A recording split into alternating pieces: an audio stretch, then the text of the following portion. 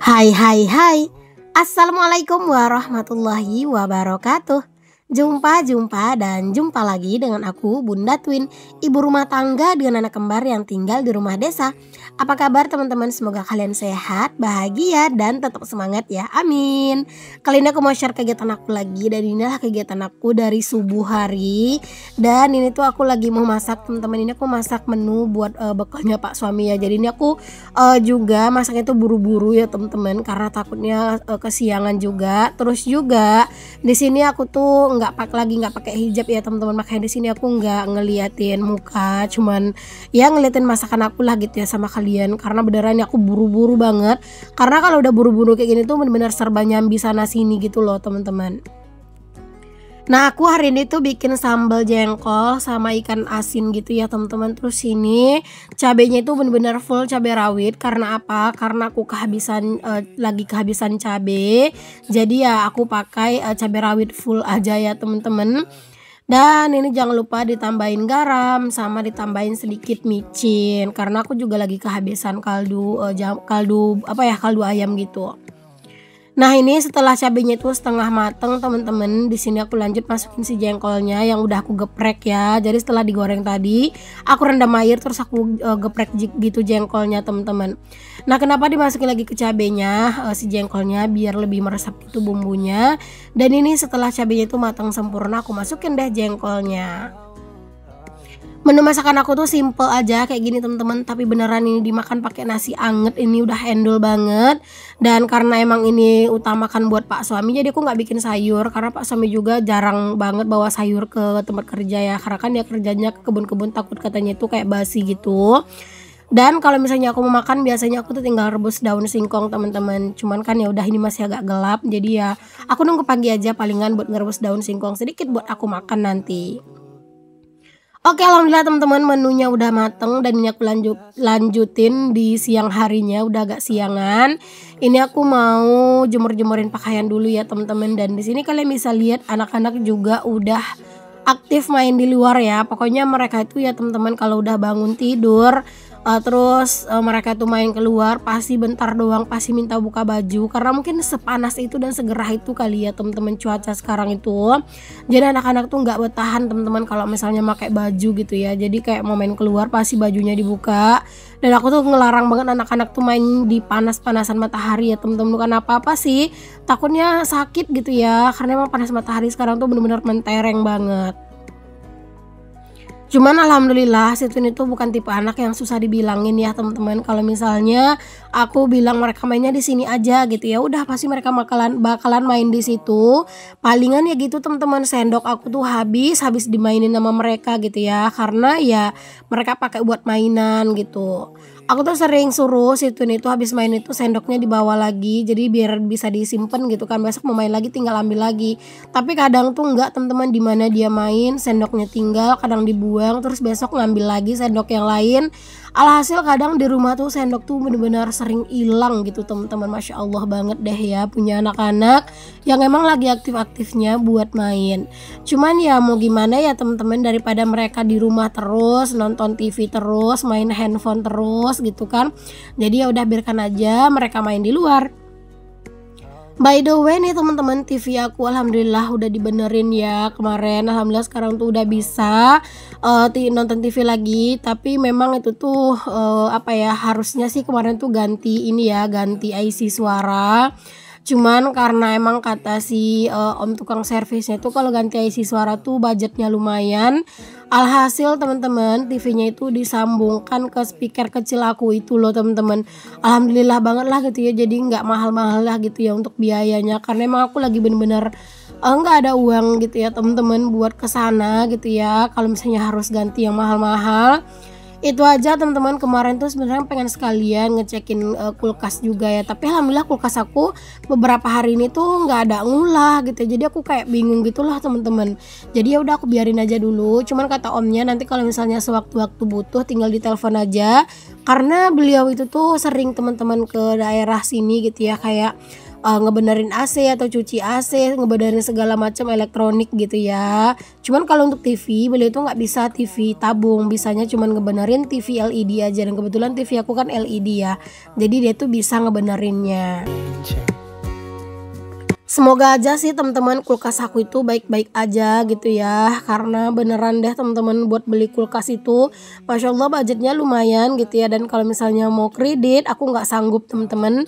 Karena aku kan punya cicilan motor ya. Cicilan motor aku tuh juga udah lumayan mahal gitu ya teman-teman. Jadi nggak maulah nambah-nambahin pikiran lagi gitu.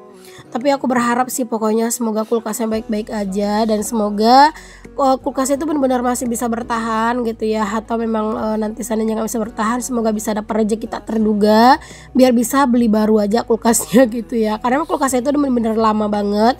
Itu masih kulkas itu dari zaman masih sama mama mertua dulu ya temen-temen. Sama mama mertua aja tuh entah udah berapa berapa tahun gitu ya dan sama aku tuh udah lima tahunan gitu ya. Jadi kayak bener-bener udah lama banget itu kulkas Oke deh teman-teman kita balik ke videonya dulu ya. Tadi setelah aku jemur-jemurin pakaian, teman-teman di sini aku lanjutin mau metik-metikin cabai juga nih. Sebenarnya buat cabai itu belum terlalu banyak yang tua-tua, tapi ya udah nggak apa-apa aku mau petikin aja. Karena kebetulan cabai di rumah tuh udah bener-bener menipis banget teman-teman. Jadi aku mau petik-petikin cabai. Karena kalau misalnya nggak metikin cabai juga bingung gitu ya mau masaknya nanti gimana gitu kan. Jadi ya pakai cabai ini aja cabai ini tuh nggak terlalu yang pedes-pedes banget gitu sih teman-teman. Walaupun kata orang cabai ini pedes menurut aku mah enggak gitu ya. Entah mungkin karena cabenya kurang tua tapi nggak juga sih. Kemarin tuh yang bener-bener kayak masak semuanya yang merah-merah semuanya itu tetap juga nggak terlalu pedes sih menurut aku. Cuma balik lagi kan ke selera gitu ya teman-teman biasanya kalau aku manen cabe teman-teman itu kan keseringannya aku jual. Kayak aku manen yang sebelumnya itu aku ada manen. Itu aku juga sempat jual ke tetanggaku karena dia itu mau ada wirid gitu di rumahnya gitu. Jadi dia itu bikin miso. Dan uh, dia itu butuh cabai ini tuh buat jadi cabai misonya gitu teman-teman. Jadi aku jual ke beliau itu setengah kilo. Ya lumayan lah teman-teman buat nambahin tabungan ya. Karena aku tuh bener-bener lagi uh, berusaha banget bikin tantangan nabung. Jadi kayak bikin tantangan nabung satu juta gitu. Jadi kalau misalnya udah uh, dapat satu juta terus nanti itu langsung aku simpen uangnya. Terus nabung lagi nanti dapat satu juta langsung aku simpen lagi dan ngulang lagi tabungan kayak gitu terus. Karena ya kalian tahu kan kayak anak-anak tuh bentar lagi udah mau sekolah ya memang masih lama sih masih kayak dua tahunan lagi uh, terus juga aku ada rencana mau pulang kampung gitu ya, dan itu budgetnya itu belum kelihatan sama sekali gitu ya. Makanya kayak sekarang tuh aku bener-bener berusaha banget buat nabung. Cuman balik lagi semuanya itu aku kayak berencana doang kalau masalah uh, nanti gimana ya udah biarkan Allah yang uh, nentuin ya teman-teman.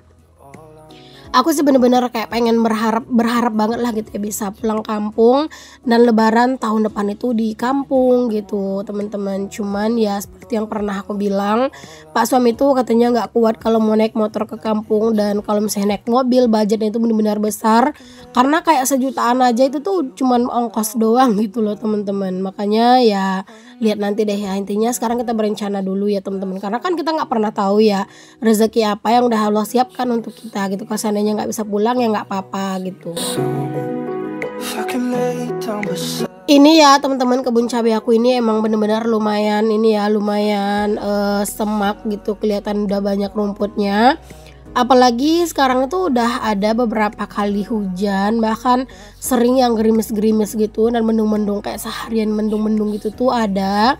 Makanya karena udah mulai sering hujan jadinya rumputnya tuh kayaknya tumbuh bener-bener subur banget gitu teman-teman aduh kayaknya bener-bener harus meluangkan waktu banget deh buat uh, ini ya buat ngebersihin ini. Karena sekarang kan cuaca tuh bener-bener yang panas bener-bener perih banget gitu kan di kulit panasnya. Aduh kayaknya uh, nungguin cuaca agak rada-rada mendung-mendung sedikit kali ya. Tapi nggak tahu kapan cuacanya itu bisa mendung. Karena emang sekarang tuh panas terus gitu ya teman-teman. Palingan kalau mendung tuh cuma bentar-bentar doang gitu. Don't know where you are, cause you're not here. Kalau seandainya cabai ini tuh nanti udah habis, sudah selesai uh, cabainya itu udah nggak berbuah lagi gitu ya. Mungkin aku bakalan lanjut lagi nanemin cabai ya temen-temen. Cuman nggak tahu sih nanti nanemnya masih cabai ini atau cabai yang lain. Tapi kayak pengennya yang ini aja deh gitu ya. Karena apa? Karena ini tuh kayak udah udah pasti udah kayak lebih jelas gitu loh teman-teman. Dia tuh bakalan tumbuh subur dan bagus. Karena kalau yang ditanam itu cabai geprek atau yang rawit putih kayak yang sebelumnya aku tanam itu buahnya gede-gede banget ya tapi ya gitu banyak busuk gitu. Nah kalau ini kan alhamdulillah banyak yang selamat. Bahkan aku tuh udah dapat uang yang lumayan banget loh gitu teman-teman. Kayaknya udah lebih 100 ribuan sih apa 200 ribu gitu uh, dari hasil uh, beli apa jual-jual cabai gitu ya. Jadi kadang tuh kalau misalnya uh, anak-anak tuh uang jajannya masih ada aku uh, full tabung. Dan kalau misalnya uang jajan anak-anak itu emang udah menipis ya udah aku bakalan alokasiin uangnya buat uh, tambahan jajannya anak-anak. Karena ya kasihan juga kan anak-anak kalau nggak jajan teman-teman Alhamdulillah anak-anak itu teman-teman walaupun dia itu jajan tetap ya pasti aku usahakan selalu makan.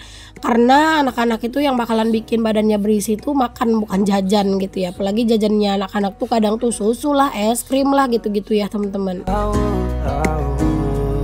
buah cabai ini udah nggak yang sebanyak yang sebelum-sebelumnya ya. Ya wajar ya teman-teman namanya ini juga udah lumayan agak lama juga kan cabainya ini tuh. Jadi mungkin buahnya itu udah nggak terlalu banyak. Nah alhamdulillah nih teman-teman ini dia hasil uh, panen aku hari ini. Uh, kalau setengah kilo sih kayaknya nggak nyampe deh. Tapi kalau seperempat itu lebih ya teman-teman. Karena itu dapatnya kayak lumayan banyak lah. Tapi ya lumayan lah karena itu buat konsumsi sendiri Oke teman-teman ini aku lanjutin kegiatan aku. Ini aku mau rapihin dulu cucian piring yang udah aku cuci.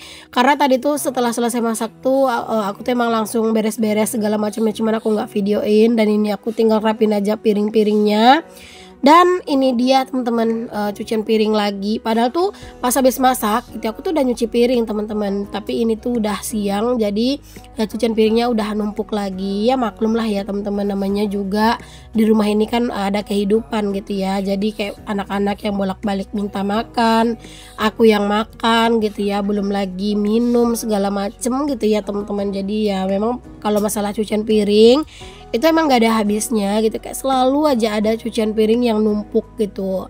Cuman balik lagi teman-teman kalau misalnya cucian piring gak ada tuh malah aneh gitu kan. Uh, pasti kayak aneh lah gitu ya teman-teman karena ya berarti nggak ada yang make di rumah ini perkakasnya gitu.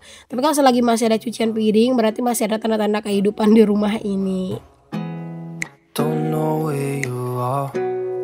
Untung aja ini tuh cucian piring yang nggak yang terlalu banyak-banyak banget ya temen-temen. Ya sewajarnya aja lah ya karena tadi pagi tuh aku juga udah nyuci piring Karena emang nggak terlalu banyak namanya juga cucian piring habis masak itu kan uh, tapi uh, tetap aja sih teman-teman kalau lihat cucian piring tuh walaupun nggak banyak tuh kadang tuh suka bikin kepikiran gitu kan karena memang bikin dapur tuh kayak berantakan gitu loh kalau misalnya ada cucian piring jadi ya mau nggak mau harus cepet diusahain buat diberesin biar dapur itu lebih kelihatan lega gitu, gitu kalau misalnya cucian piring itu nggak ada Oke deh teman-teman sampai di sini dulu ya videoku kali ini. Semoga apa yang aku share bisa menginspirasi, motivasi dan juga menghibur. Sampai ketemu lagi di video aku yang selanjutnya. Assalamualaikum warahmatullahi wabarakatuh. Bye, mohon maaf kalau misalnya ada kata-kata yang salah ya.